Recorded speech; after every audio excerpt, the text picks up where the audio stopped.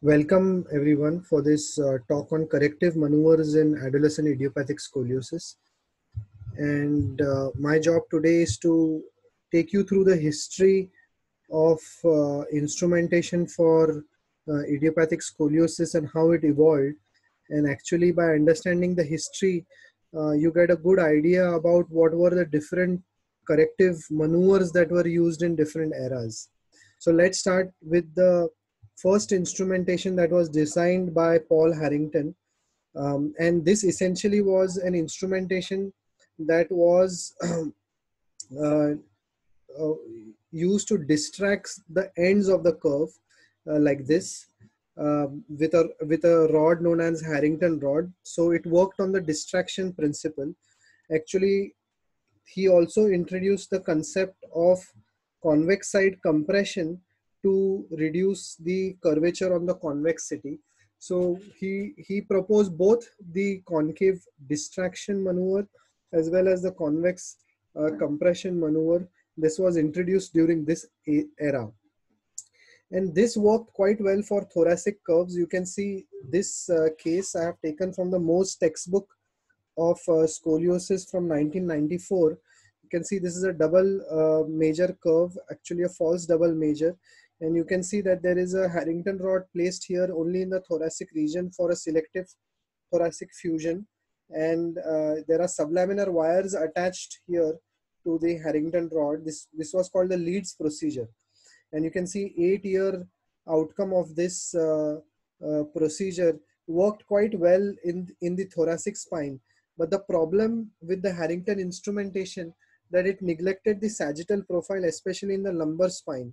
So if you distract between two points in the lumbar spine, what you are going to get is a flat back. So this is what happened uh, to um, when Harrington instrumentation uh, was used, it caused a flat back um, syndrome.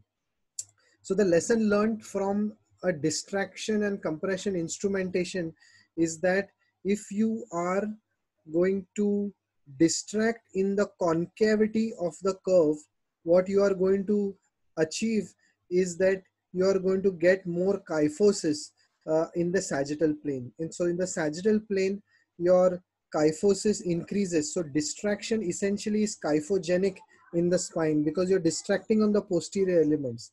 So distraction in the concavity of the curve to correct the concavity is going to increase the kyphosis uh, in the spine, which is not so good in the lumbar spine, but it is desirable in the thoracic spine it is opposite in the lumbar spine. In the lumbar spine you have you want to compress on the convexity of the curve so that in the sagittal profile you recreate the lordosis. So this was the concept during learned during this time. The second era was the Luque era. And this in this era the correction was segmental correction. So you had a rod and then segmentally with sublaminar wires, the vertebral bodies were translated towards the rod. So you can he see here Luque rods here and sublaminar wires that have translated the rod towards, uh, translated the spine towards the rod. And, uh, and the, he had the first thought about sagittal uh, correction by bending the rod. So if you sagittally bend the rod in a curvature, then you can translate the column not only in the coronal plane but also in the sagittal plane towards the rod. So the problems with this instrumentation was this this was only a translational correction of the spinal deformity. There was no derotation. And as we know that uh, the scoliosis is a three-dimensional deformity. So the lumbar rib prominence was not corrected and a lot of patients required a thoracoplasty. So the lessons learned from this instrumentation that segmental correction was quite powerful and resulted in a better correction than Harrington instrumentation. It was very rigid and did not require any post-op bed rest or casting that was required for Harrington instrumentation in the past. It controlled the sagittal profile by controlling the contouring of the rods that you could do. But the wires were a neurological risk because they go into the spinal canal and eventually they were replaced by hooks and pedicle screws. But over a time uh, the wires uh, in, in the spine are still used quite often. And the neurological risk is not as great as others. But now because instrumentation has evolved to something better all all wire constructs are not very commonly used nowadays. You use wires only for say salvage uh, uh, situations or translating the apex in uh, in more rigid situations. So the third era was the cd instrumentation era where the anchors were hooks instead of the wires. And this is Cotrel and this is Dubousset and these were the two French uh, guys who invented this instrumentation. And the brilliant idea of this instrumentation was the global rod derotation maneuver. So one day they were trying to instrument the spine with these hooks and they could not get the rod uh, along into these hooks easily. And their resident gave them an idea that why don't you put the rod in this uh, curvature like this and derotate it towards this side so that automatically the spine uh, will come in alignment. So that led to this description of the rod derotation maneuver. So essentially you're you are putting the rod in the concavity of the curve and then rotating it like this so that once it comes in the sagittal profile the deformity also corrects. The other thing which hook instrumentation allowed was segmental compression and distraction. Until um, up, up until now Harrington instrumentation allowed you to distract only at the ends, right? But this instrumentation allowed you to compress between two hooks very close to each other or distract between two hooks that were very close to each other. So that was the new method of correction that was added to it. So what was the problem with the CD instrumentation? The CD instrumentation, even though the rod derotates, it does not really derotate the spine. It does not correct the apical um, rotational deformity. So the rib prominence correction was not very good. It only works mostly as a translational maneuver. Even the rod derotation maneuver essentially translates the apex towards the midline. It doesn't really derotate the apical vertebra.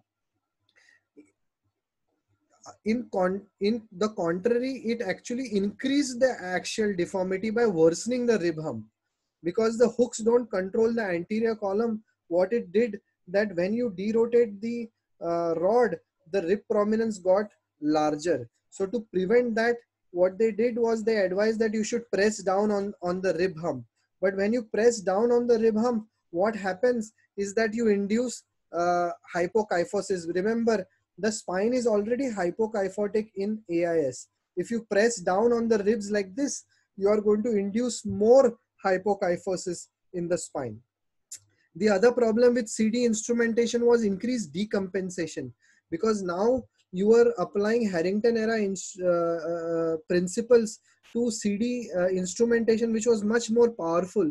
So it corrected the uh, deformities to a much larger extent than the compensatory curves that could compensate for that deformity correction. So decompensation was noted much more uh, in partly this was also because of that rod derotation maneuver where the torsional forces uh, they could not be uh, controlled that were transmitted to the unfused area of the spine it had no control over derotation because unlike pedicle screws the hooks only hold on the posterior element and the rod derotation maneuver actually unbends the uh, uh, rod much more than just the translation maneuver. So when you are putting the rod here and try to derotate it, the the rod when it is coming in this position, it it unbends quite more significantly than if you would have used a translational maneuver. And the last point was that the Cobb angle, uh, the coronal Cobb did not always match with the sagittal curvature. Here what you are trying to do is that this curvature has to match the sagittal uh, curvature for you to for you to effectively uh, correct this deformity. So these were the uh, disadvantages not only of the CD instrumentation but of the global rod derotation maneuver. So the lessons learned was that rod derotation maneuver does not is not equivalent to a vertebral derotation maneuver. The rod derotation maneuver, especially if you are using on a single rod, uh, you can worsen the apical uh, rotation uh, even if you are using screws and the uh, what what they advise for that is to counter it by pressing down on the rib prominence on the convexity. But this is not usually a good idea because it reduces the uh, kyphosis. Then came the segmental pedicle screw era. This person is Suk and this person is Lenke and these guys were instrumental in bringing this uh, uh, phase where we are living right now. And the key trick in this instrumentation is basically vertebral translation. Like how Luque instrumentation was but what it is trying to do is that you are putting reduction screws in the concavity of the deformity then you are placing the rod in the normal sagittal profile and then dragging the vertebral column towards the rod using these reduction screws. So this was a segmental translation uh, maneuver. The uh, professor Suk from Korea described the direct vertebral uh, rotation uh, maneuver which would correct segmentally the uh, axial uh, deformity of the vertebra. So as the pedicle holds all three columns of the vertebra by holding the pedicle screw with these long handles, you could potentially derotate the, the vertebra in the correct alignment and this prevented the need for, for thoracoplasty. But what were the problems? You know, for this derotation maneuver, again, they described that you need to press down on the rib prominence to correct this uh, rotation and that also induced hypokyphosis or increased the hypokyphosis. So there are a lot of papers which uh, have shown that all pedicle screw construct, especially if you are using a soft rod like titanium, will cause a decrease in the sagittal contour of the thoracic spine. Plus, putting pedicle screws at every single level was expensive, and there is always a risk of the screw plowing out, especially if the, this is the concave uh, pedicle screw, and if you push it this way, it can plow, plow out uh, like this, and there is an aorta sitting here, right here. And if you if you are pushing it that way this screw can plow inside the spinal canal. So these were the risk of you know pushing uh, and pulling on the screws to derotate the um, vertebral body. But this is still quite commonly used technique to uh, correct the deformity in three dimension and nowadays with such powerful instrumentation uh, the correction in three dimension is is much better and uh, you don't really need a thoracoplasty for the usual adolescent idiopathic scoliosis.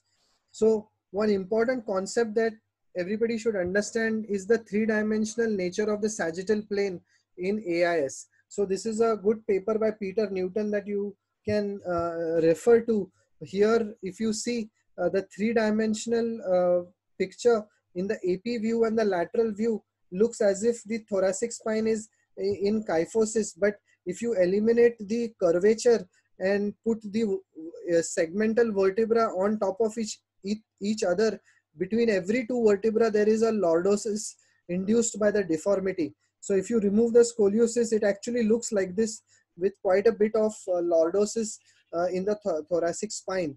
And your aim basically of surgery is to drag the apex outwards so that you can restore the sagittal profile as well.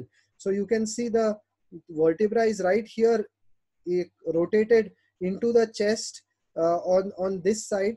And you want to drag the vertebral body not only derotate it like this into correct alignment but its position also has to be pulled backwards. That's the apical vertebra. In the lateral view you want to move the apical vertebra backwards because it is in hypokyphotic position means it is a it is more anterior than what it is supposed to be. And on the AP view, you want to get the apex from the laterally deviated position to midline to correct the Cobb angle. So these are the correction translational things that you want the apex to um, move to with your instrumentation. So there are three ways to avoid hypokyphosing effect of all pedicle screw constructs. All pedicle screw constructs uh, have a tendency to make the uh, thoracic spine flat because of all those reasons that we I mentioned before. So what you do is use a stiff rod, use like a cobalt chrome rod, use differential rod contouring. We'll see what is that. Second is use Ponte releases which uh, releases the posterior column which you can lengthen. So remember if you lengthen the posterior column you are inducing kyphosis in the thoracic spine. And the third is concave side distraction. As we saw in the harrington era instrumentation if you distract on the concavity you are going to induce kyphosis. So uh, concave side distraction in the thoracic spine is going to increase the kyphosis in the sagittal plane. So you can do all these maneuvers to make sure that along with the coronal Cobb correction, you are getting a good sagittal profile as well. What you want to avoid if possible is the rod derotation maneuver during which was used during the CD era because the rod derotation maneuver not only unbends the rod much more but it also can result in abnormal torsional forces being transmitted to the unfused uh, area of the spine and it's not as effective in bringing out the apex out of the chest. Don't do convex side compression because that's going to reduce the amount of kyphosis. Don't press down on the rib prominence like I said before and don't use a titanium rod because titanium rod is too soft and when you try to correct using titanium rod the titanium rod is what bends rather than the spine coming towards the rod. So what is differential rod contouring? Differential rod contouring means the concave rod you are curving much more than the kyphosis that you want to achieve uh, in the thoracic spine. And the convex rod you are bending much lesser or you are bending much flatter than the sagittal profile that you want to achieve. What it does is that the concave rod sits like this in the normal anatomical position. You lock it at one end and you drag these uh, screws towards the rod. So you are basically taking out the hypokyphotic apex from the chest and getting it uh, to, to the uh, rod that is overbent. Mind you, all metal will unbend a little bit, but cobalt chrome unbends lesser. So even if you over contour the rod, it is going to come back to a more flatter position, probably a normal thoracic contour and end there. The convex rod is much flatter and a lesser contour and what it is supposed to be doing is push the convex side downwards.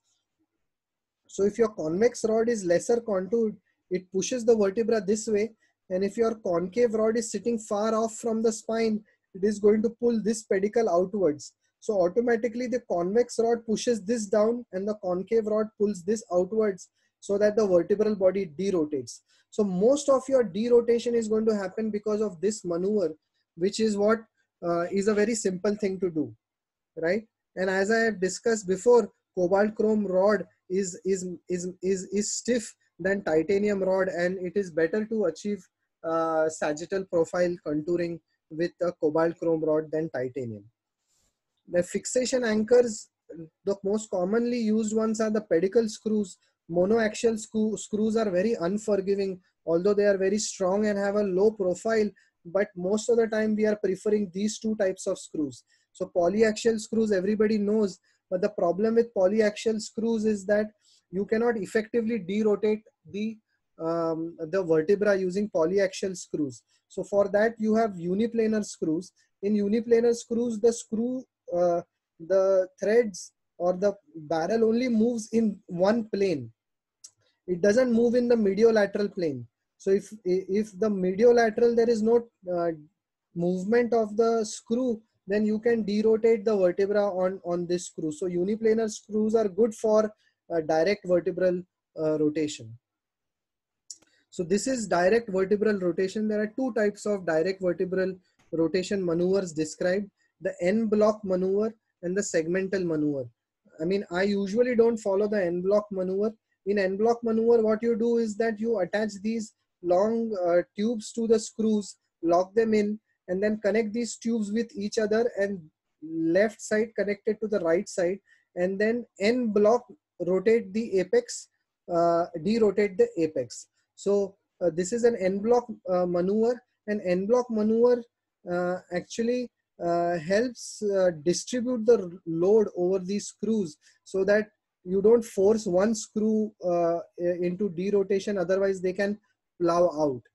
Segmental vertebral derotation means that you are segmentally derotating. So if you are going caudad to cephalad, so this is the tail end uh, and this if your liv is new, in neutral position you ask your assistant to hold it like this and at the next level you get the uh, vertebra aligned to that. So at at every level you start uh, doing it and getting it higher and higher until the uh, vertebral uh, column derotates. So that's what the dvr uh, means or direct vertebral rotation means but remember the direct vertebral rotation can be lordogenic if you are not careful especially while doing this maneuver if you are pressing down on the rib hump. So don't do that. So uh, this requires more surgery because you require more screws at the concave apex. We have discussed the problem of screw plowing out with the en bloc maneuver. So that is about it about the different corrective maneuvers in AIS. One more corrective maneuver is a translational, oh, sorry, cantilever maneuver that is usually done for uh, hyperkyphotic apex. So I don't know if I have a picture. Yeah, so here. So this is the cantilever maneuver where you have uh, a hyperkyphosis. Uh, so you don't put the concave rod for a hyperkyphotic apex. You use the convex side uh, rod to press down on the hyperkyphosis to correct it. So that is called the cantilever maneuver. It is rare to have hyperkyphosis in AIS curves. So this is not usually a very commonly used uh, surgical maneuver. So just to sum